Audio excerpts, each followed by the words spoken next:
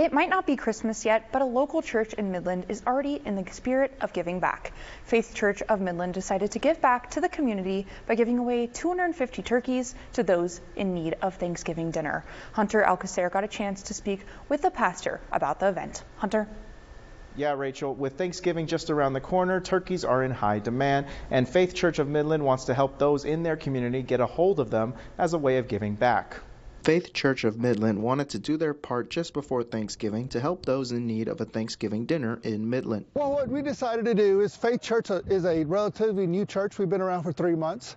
Uh, we couldn't figure we couldn't we, we couldn't figure a better way to say thank you to our community for being a part of it than giving away 250 turkeys for Thanksgiving season. The church raised money to purchase all of the turkeys.